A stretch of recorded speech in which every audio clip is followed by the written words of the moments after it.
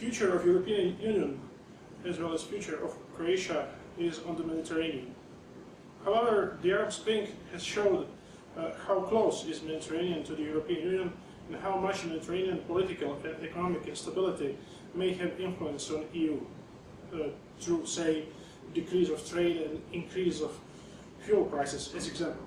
recession in the European Union, on the other hand, has worsened economic conditions in Mediterranean countries, triggering unrest and revolt. Still, over 75 of European trade is realized with Mediterranean countries, and European Union is the largest Mediterranean export market.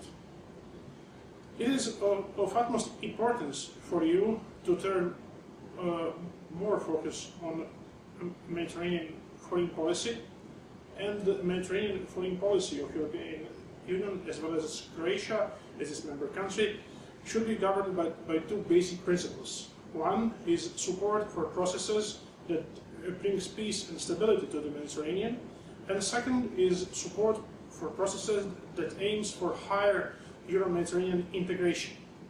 Uh, uh, Europe has uh, to act as a peace moderator on the Mediterranean, and one of the models of achieving that is extending of OSCE uh, to encompass all Mediterranean countries. Croatia should uh, begin building its new European identity, uh, which means the European member country with special role at the Mediterranean and the Mediterranean country with special role within EU. Croatia should become a, a dialogue point between Europe and the Mediterranean due to its unique experiences. The first experience is that Croatia is the only EU member country with, a, with an indigenous Muslim community, which is not a result of migration from Mediterranean. This Muslim community is fully integrated in Croatian society, and it should be known that almost 100 years ago, that is at 1916, Croatian parliament adopted the law of equalizing Christians and Muslims in Croatia. Based on that experience, uh, we uh, may conclude that uh, instrumentalization of religion for political purposes uh, unfortunately dominates the Arab Spring, systematically un undermining stability of the Mediterranean uh, and Euro-Mediterranean in integration. This leads to enormous economic and political damages, such as worsening of relation between religions. Efforts to stop these uh, trends would be slow and costly. Namely, a religious organization may and should provide ethical background for political scene by insisting on certain ethical values, like suppression of corruption, uh, care for public needs, etc. But problem arises when politics uh, becomes interrelated with religious or organization. Uh, the politics and religion should remain in separate spheres. And this respect for separation between religion and the state, religion and politics, should be a principle without exceptions. It should not be a result of political calculation aimed for so-called moderate representatives of politicized religion. Any such political game practically always result in the opening of Pandora box. And uh, our experience from the Eastern Adriatic shows that separation between religion and politics is possible not only in Christianity, but also in Islam, as shown by official recognition of Muslim nation in uh, Bosnia and Herzegovina in 1969. Uh, the other Croatian experience is that Croatia is a country uh, which ex experience, uh, experienced the tra transition to democracy, however overlapped with the Croatian independence war. Which lessons did we learn from that? First lesson is that tra transition to democracy in countries engulfed in war should be treated separately. War radicalizes political positions, leaving some of the basic debates for better times. The second lesson is that uh, the chances for successful transition are higher, say in Libya, uh, if there is a functioning state uh, at the start of transition process, uh, with president, government, parliament, local authorities, etc., thus enabling uh, smooth tra transition of powers. Uh, beside, uh, there should be a, a, popular consensual support for transition and wide understanding of the role of political parties and their programs uh, the meaning of election and consensus on basic national values. And finally, uh, the organized existence of organized political parties or, or, or movements that should lead the transition. There are uh, namely no spontaneous transition, even if they have started by spontaneous uprising. Uh, the third lesson uh, is that change of government, say in Syria, uh, can be uh, seen by three parameters. The first parameter is percentage of popular support for, for change within the country, and this percentage of popular support for a change or for some leader or opposition leader within the country is often in stark contrast with the expectation of emigre opposition leaders and their international su supporters. The second parameter is ability of new government to establish control and to stabilize political and economic processes in the, in the country. Otherwise, the country may slide in, into anarchy.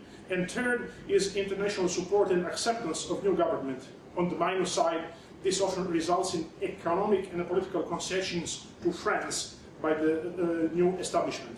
The fourth lessons we learn is that new governments are commonly faced with an urgent uh, need to stabilize and repair socio-economic in the country, which are the most common triggers for the change. Uh, dealing with ideological issues is, however, uh, an easier and more favored job, as showed uh, in Egypt by Muslim Brotherhood.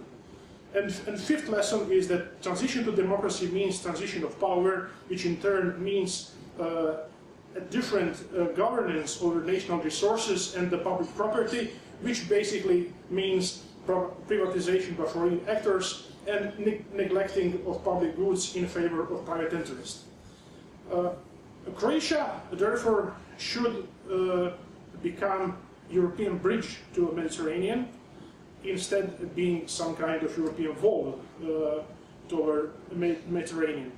So, uh, understanding that the true role uh, of EU and the Mediterranean is to be peace uh, mediator and factor of stability, uh, it, it, should be said that European Union has spent most of its diplomatic credits uh, by siding in Syrian conflict instead of being neutral.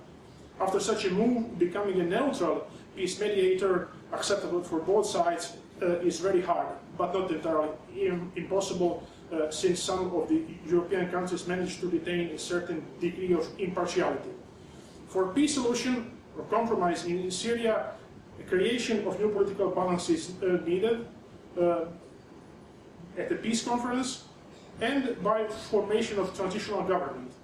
For security stabilization in Libya, where after the uh, intervention a new government has been established, the security situation deteriorates because of a visible disengagement of international community.